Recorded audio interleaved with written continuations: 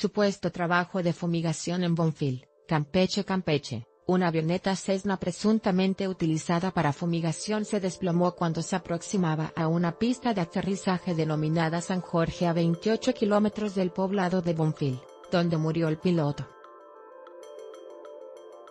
El reporte del hecho ocurrió a las 13.45 horas de la tarde, cuando el piloto identificado como Norman Henry Jeffries Martínez maniobraba la avioneta Cessna modelo 188 con matrícula XPOC, la cual sobrevolaba en el poblado de Bonfil.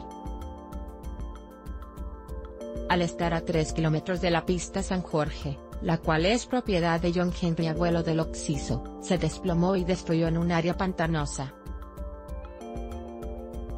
Por el fuerte impacto, el piloto perdió la vida y quedó entre los escombros de la avioneta. Eso generó que las autoridades tomaran nueva conciencia sobre el tráfico de drogas en la zona entre Bonfil y Yoaltún.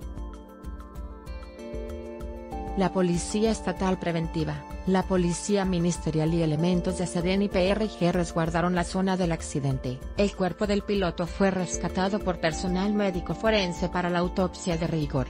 Los restos de la nave permanecen resguardados por las autoridades federales. Megamedia.